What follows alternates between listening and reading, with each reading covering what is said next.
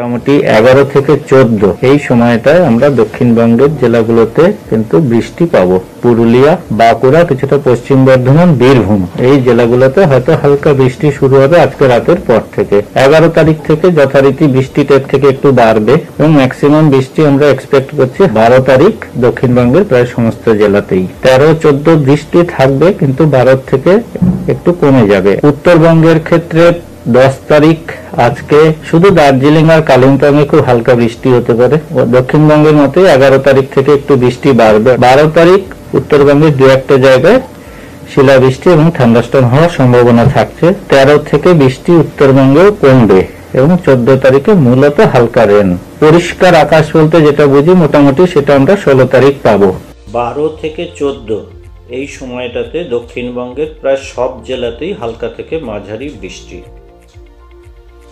বৃষ্টি পশ্চিমের দিকের জেলাগুলোতে একটু বেশি হওয়ার সম্ভাবনা। চোদ্দ তারিখের পর থেকে বৃষ্টি কমে আসবে। পনেরো তারিখ খুব হালকা বৃষ্টির এবং সে সম্ভাবনাও কম থাকবে। ষোলো তারিখ থেকে মোটামুটি আবার পরিষ্কার আকাশ। শুরুর দিকে অর্থাৎ এগারো তারিখ একটু পশ্চিমের জেলাগুলোতে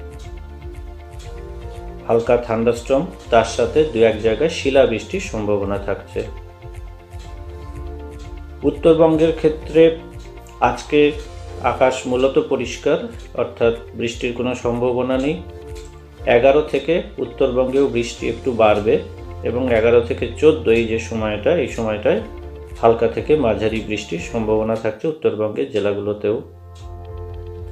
উত্তরবঙ্গের ক্ষেত্রে বারো তারিখ যে যে জেলাগুলো আছে আমাদের, তার দু এক জায়গায় শিলাবৃষ্টিরও সম্ভাবনা থাকছে।